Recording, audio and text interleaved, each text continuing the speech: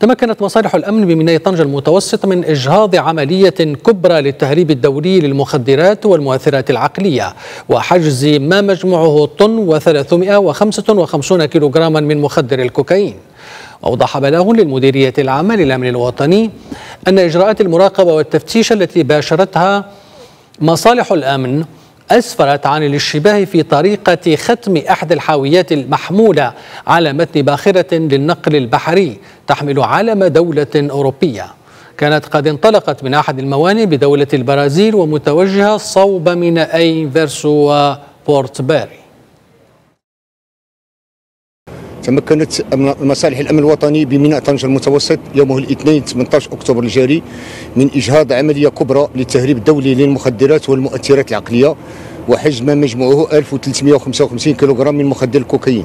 تنفيذ هذه العملية الأمنية النوعية تأتي في إطار الجهود المتواصلة التي تبذلها مصالح المديرية العامة للأمن الوطني لمكافحة عمليات التهريب الدولي لمخدر الكوكايين وكذا تحييد مخاطر وتهديدات شبكات الجريمة المنظمة العابرة للحدود الوطنية.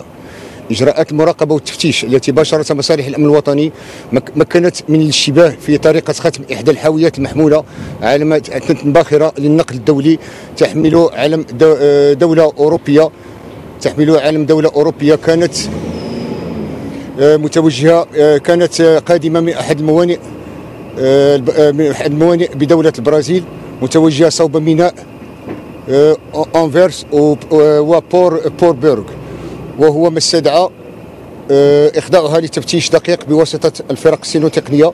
هذا التفتيش مكن من اكتشاف وحجز شحنات الكوكايين المهربة ملفوفة ومخبأة داخل 40 حقيبة سوداء اللون مدسوسة داخل الحاوية. آه، وتشير المعاينات والخبرات التقنية المنجزة أن طريقة تهريب هذه الشحنة القياسية من مخدر الكوكايين راهنت على الأسلوب الإجرامي المعروف ب rip on rip off والذي يتمثل في إقدام المهربين في بلد الشحن آه، المهربين في بلد في بلد الشحن على كسر الاختام الرسمية التي تضعها إدارة الجمارك على أبواب الحاويات الموجهة للتصدير آه، للتصدير يتسنى لهم شحن مخدر الكوكايين على واحدة أو أكثر من تلك الحاويات. آه، من تلك الحاويات التي تكون قد خضعت للمراقبة وتم ختمها. بعد ذلك يتم إعادة وضع أختام جديدة لكن بطريقة مزيفة وغير مشروعة.